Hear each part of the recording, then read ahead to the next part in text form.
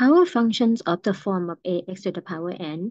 In this form, if we look at the case that n is an odd number, the function could be in the form of f of x equals x to the first, or f of x equals x to the third, or f of x equals x to the fifth, as you see the graph, is from the left to the right.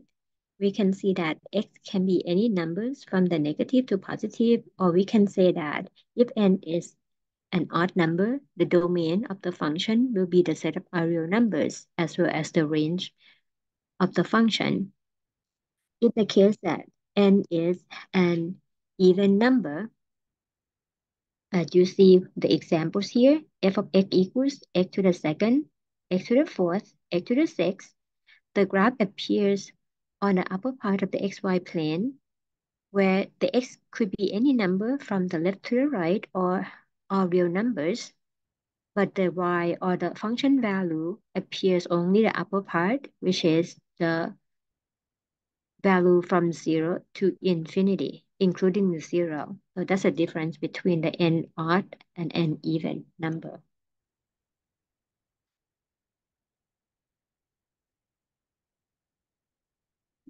For the power functions of the form ax to the power negative n, recall when you have the negative power, you can rewrite as the positive power in the reciprocal form of that term.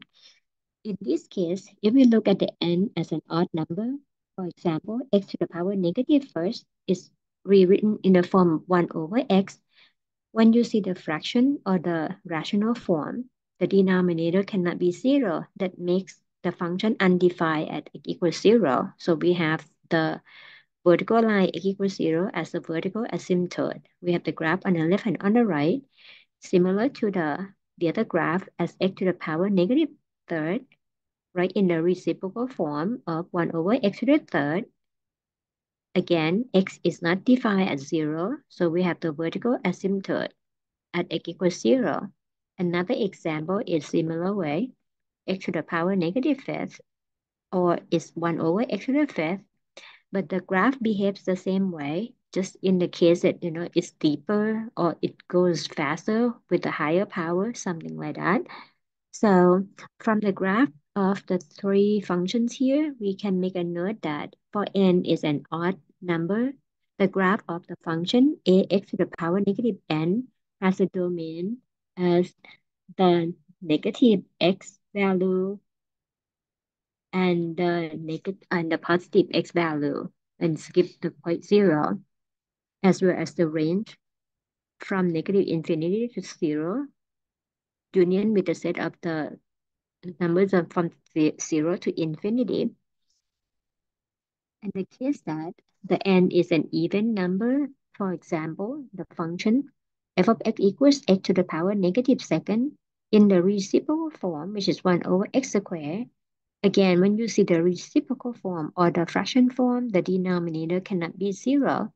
x equals zero is still the vertical asymptote of this type of the function. But when you see the even power, it doesn't matter the number is negative or positive quantity. When you raise to the second power, the fourth power, or the sixth power, or any kind of even power, the result gonna return in a positive value. Therefore, the graph will remain in the non-negative portion of the y-axis then we can summarize it as the domain of the function ax to the negative n, where n is an even number, is the set of the number that is less than zero and the number union with the set of the number that's greater than zero. Or we can say that is the negative infinity to zero union with zero to infinity, where the range, it appears on the upper part, not including zero, or we can say that is the set of the number from zero to infinity.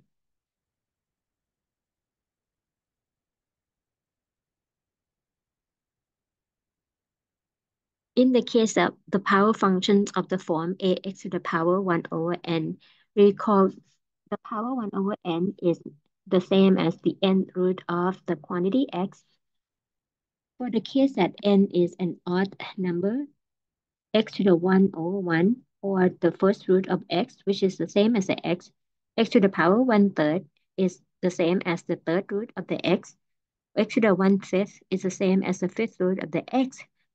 You see the graph as the domain is the set of all real numbers and at the same time the range is also the set of all real numbers. And we can say that domain is the set from infinity to positive infinity, same as the range. For the even root, or x to the one half, which is the square root, x to the one fourth, which is the fourth root, x to the one sixth, which is the sixth root. The domain with the restriction of the even index the input has to be non-negative number. So the input x or the domain gonna be the set of any x that's greater than or equal to zero or starting from zero to positive infinity, where the range gonna be any number from zero to infinity as well.